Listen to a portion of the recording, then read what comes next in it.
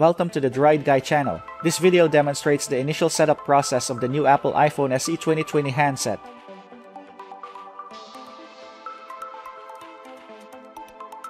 Setting up a new iPhone is an exhilarating experience.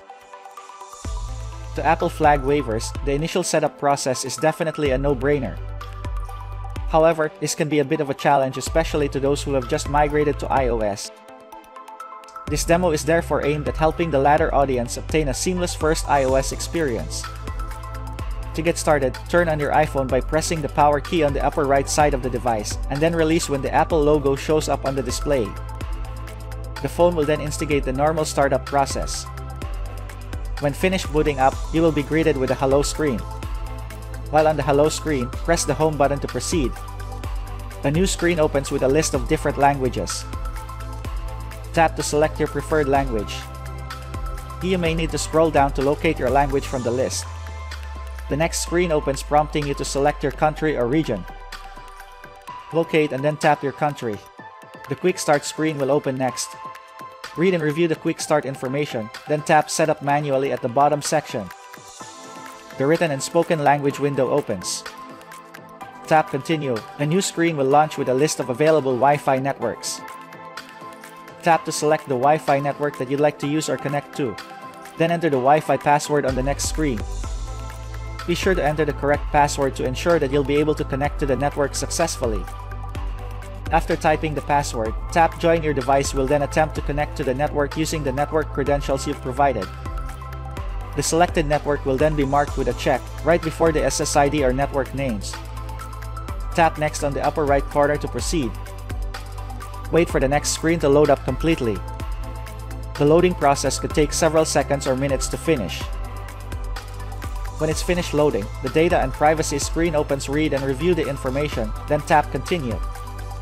On the next screen, you will be prompted to set up your Touch ID. You may opt to continue or set up Touch ID later. Let's just go for the latter option to proceed with this demo.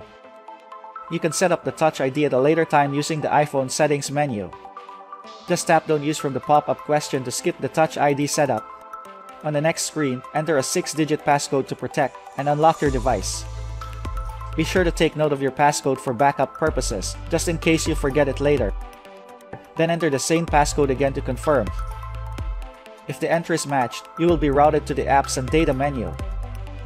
Otherwise, you'll be prompted to re-enter the correct passcode. On the Apps and Data menu, choose how you want to transfer apps and data to your new iPhone.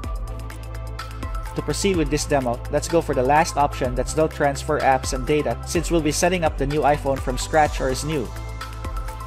The Apple ID screen will show up next. In here, you will be asked to enter your Apple ID. The Apple ID is typically the email address that you use to set up your Apple account. If you haven't set up one yet, then you need to create a new Apple ID. It's a requisite to use iCloud and other Apple services on your device. Just type your Apple ID into the Apple ID text field, then tap Next to continue. Enter your Apple ID password on the next screen, then tap Next to confirm. If prompted, enter the Apple ID verification code that's sent to your other Apple devices or preferred phone number.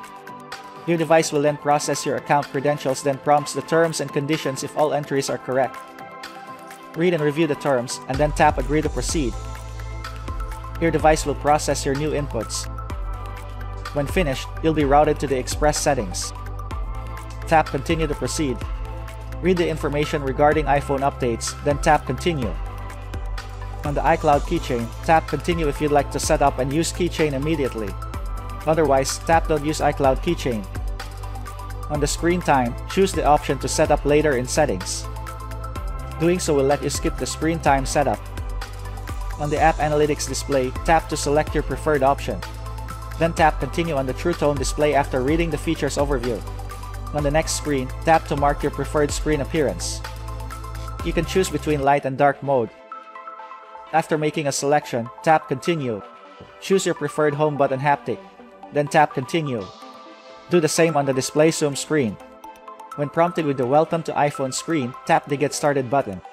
Doing so will let you access your iPhone's home screen that's populated with various app icons and shortcut controls. Your iPhone is now ready for first-time use. You can now go ahead and explore the rest of the features of your new iPhone SE 2020. And that's it. Make sure to like, share, subscribe, and hit the notification bell for more videos in the future. Thanks for watching.